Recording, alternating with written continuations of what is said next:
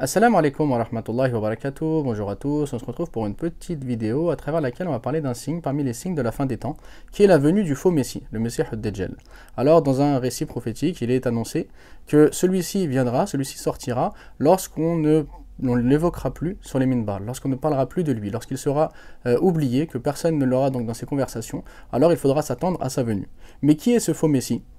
Euh, Est-ce qu'il est déjà vivant? Est-ce qu'il n'est pas, enfin, est-ce pas encore vivant? Est-ce qu'il est un homme parmi les enfants d'Adam? Est-ce qu'il est une autre créature? Euh, Quels sont les troubles qu'il apportera euh, et comment est-ce que les gens pourront se protéger de lui? Bah, C'est tout ce qu'on va pouvoir découvrir à travers euh, ce petit livret donc aux éditions El Beina qui présente donc le faux Messie, ce qu'il faut savoir sur lui et puis bien, bien, bien évidemment comment s'en protéger. Et ensuite ce livre-là de l'imam Qurtubi qui s'appelle donc le faux Messie et le retour de Isa ibn Maryam, donc de Jésus le fils de Marie, qui va nous parler justement du faux Messie en détail, donc des différents hadiths qui ont été mentionnés à son sujet, euh, de, enfin, donc à savoir est-ce qu'il est un être vivant, donc déjà vivant, est-ce qu'il est parmi les enfants d'Adam, euh, quels vont être les troubles avec lesquels il va venir, euh, comment va être sa fin, et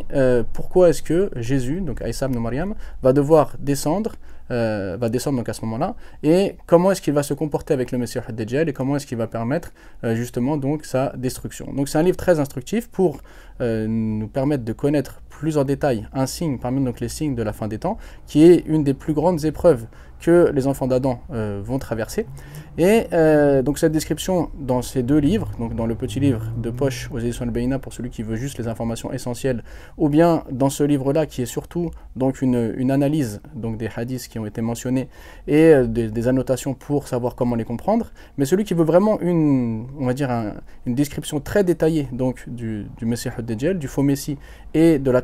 donc des, troubles qu'il va apporter, le meilleur livre qui existe actuellement en français qui détaille euh, cela, c'est celui-ci. Donc les signes de la fin des temps, euh, donc de l'imam Ibn Kathir, aux éditions universelles. Donc il y a un chapitre euh, entier qui va traiter donc du Messie Dajjal, du faux Messie, et qui va nous apporter tous les détails à son sujet, c'est-à-dire les troubles mais la manière de s'en protéger, et puis tout ce qu'il faut finalement connaître à son sujet, donc à travers une succession de hadiths sur la question. Et puis pour celui qui voudrait encore plus de détails sur le, sur le sujet, on a les signes de la fin des temps aux éditions Al-Hadith, qui est une thèse de doctorat de docteur Youssouf El-Wabil, qui rentre donc vraiment en détail et qui analyse tout ce qui a pu être dit sur le Messie Dajjal, donc sur le faux Messie, afin donc de savoir ce qui a été dit qui est véridique, ce qui est faux, euh, entre, dans ce qui est vrai, comment le comprendre, et ainsi de suite. Donc, à travers ces quatre livres, vous aurez toutes les informations à savoir sur le Messie Dajjal et surtout sur la manière de s'en protéger.